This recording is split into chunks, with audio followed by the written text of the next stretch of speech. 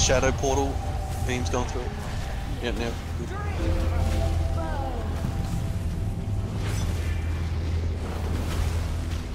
Minute 20 on B-res.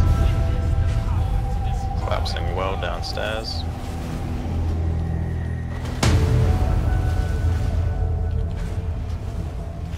Palladini cooldown. That's coming out.